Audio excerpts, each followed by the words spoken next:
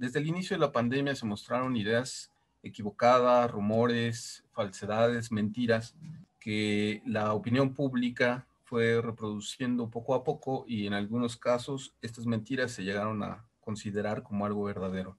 Por ejemplo, eh, recuerdo que se decía que los chinos inventaron el virus en algún laboratorio, que los murciélagos transmiten el virus, que el virus no es mortal. Eran algunas ideas que estaban flotando en el aire y que de pronto la sociedad comenzó a, creer ciertas ideas que se encontraban ya en, esta, en esta vertiente de la opinión pública como algo que se cree verdadero. En el fondo de todas estas noticias falsas existe una diferencia, que el filósofo se pregunta, ¿cuál es la relación entre la falsedad y la mentira? La mentira y lo verdadero, lo verdadero y lo falso. La mentira tiene una finalidad que es influir directamente en la opinión pública. Es decir, yo me puedo equivocar o puedo errar en alguna cosa en mi pensamiento y esto sería una falsedad. Pero cuando yo miento de manera intencional, quiere decir que la opinión que yo estoy emitiendo es una opinión que intenta convencer al otro de la verdad en el fondo nos convertimos en, personas que se conocen hoy como charlatanes, por decirlo de alguna manera. El caso quizá paradigmático de Donald Trump cuando hace el llamado a que se tome el Capitolio y después él dice que jamás hizo ese llamado. Entonces hay, precisamente en la charlatanería esta idea de hacer pasar la mentira como verdad y la verdad como mentira. En la opinión pública ahora no se modela de la manera tradicional que antes se hacía con, con libros, revistas, periódicos, radio, televisión. Ahora ya tenemos a las redes sociales y esas redes sociales reproducen de manera inmediata y de una forma impresionante todas estas mentiras.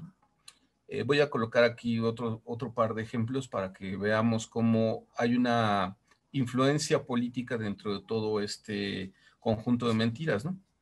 La vacuna rusa no sirve, por ejemplo, ¿no? Se decía, te va a hacer daño las vacunas te matan. El doctor Gatel ya se inyectó, ya se saltó la fila y, este, y por lo tanto está ejerciendo un poder que tiene desde su posición política. Y e, este último caso es muy interesante para México porque, por ejemplo, se utilizaba una fotografía del doctor Gatel en donde efectivamente lo estaban inyectando para una campaña de vacunación de la influenza, pero se decía que se había inyectado con la vacuna en contra del COVID. Entonces ahí podemos analizar cómo hay una influencia política de quien está emitiendo esta mentira. Lo importante es preguntarse cuando veamos todo este tipo de cosas, ¿para qué? ¿Quién la dice? ¿Para qué la dice? ¿Y con qué intencionalidad la está diciendo? Igual en el caso político, sin que tengamos aquí una, una posición eh, muy, muy clara de lo que se buscaba en esta situación, pero cuando el presidente se encontraba enfermo, se decía, por ejemplo, que lo mejor era inhabilitarlo porque quizás estaba incapacitado para ejercer su función, que no sabíamos si estaba con oxígeno o no, que no sabíamos de su salud. Y entonces se comenzaron a correr muchos rumores que eh, precisamente se generaban con un fin político determinado. Eso es lo que nosotros debemos de tener en cuenta cuando se emiten este tipo de juicios o de falacias, como las conocemos nosotros en filosofía las falacias de falsa generalización, de apelación al sentimiento, que son muy comunes, o las falacias a dominen o en contra del hombre, ¿no? Como se le conocen también. Es decir, hay falsedades que sí nosotros podemos decir de manera no intencional, errores de nuestra propia mente, pero cuando las decimos con una intención de mentir y de engañar, entonces ya, está, ya se está presentando un uso determinado de manera política. Se da una descalificación y hay una ausencia de crítica y de diálogo, por ejemplo, en las redes sociales, cuando se emiten este tipo de cosas. Em, desafortunadamente en las redes sociales como en Facebook o en Twitter, no hay una manera de dialogar directamente con nuestros amigos, con las personas, eh, con quien emite el juicio. Entonces, regularmente esta ausencia de diálogo se convierte en una descalificación total de los principios o de las ideas de los otros.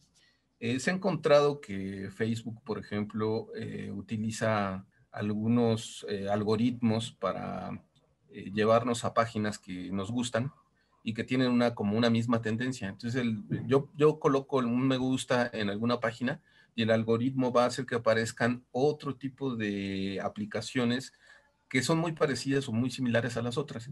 Entonces, eso va a hacer que la información que me llegue ya esté pasada por un filtro, ya esté colocada por un filtro, y sea esa información la que se nutre y la que al mismo tiempo me da la información a mí acerca de las situaciones presentes y eh, determinen los juicios de valor o las ideas que hay. También eh, se presentan estas situaciones de las granjas de bots, en donde una noticia se puede reproducir rápidamente por equipos ya especializados, ¿no? Para que esta eh, noticia aparezca en un lugar, aparezca en otro y aparezca en otro lugar. Y entonces eso va permeando a la mm, opinión pública. Quizás ese es el, el, nuevo elemento que debemos analizar nosotros como, como pensadores, como filósofos. ¿Cómo es que la opinión falsa y la opinión verdadera pueden discriminarse y cómo podemos separar esta idea? Eh, es decir, la solución para combatir estos elementos de la infodemia, pues sería como muchas cosas que ya se saben, ¿no? Que se conocen, por ejemplo, analizar medios alternos, medios que tienen una larga trayectoria o buen prestigio, pero yo creo que en el fondo la filosofía lo que tiene que hacer y nosotros abogamos porque la, la sociedad también la vida cotidiana haga esto es dudar, cuestionar, criticar, revisar las fuentes, quién lo escribió y para qué lo escribió, Em, en una medida podríamos decir que se actualiza la idea de la caverna virtual, que nosotros vemos como sombras aquí al frente y que esas sombras pueden ser como un, cierto tipo de mentira del mundo y que nosotros debemos ir, salir de esta caverna para aprender qué es la realidad de esta caverna virtual. Tenemos que hacerlo confrontando nuestras ideas con las otras personas y manteniendo un análisis crítico de ello. Eh, yo terminaría con la frase de Kant que dice aprender a pensar por nosotros mismos. Quizás eso es lo primero que tenemos que hacer para después ya analizar todo lo que sucede en las noticias y contrastarlo con la realidad. Y entonces sí tener un juicio claro de qué es verdad y qué es mentira.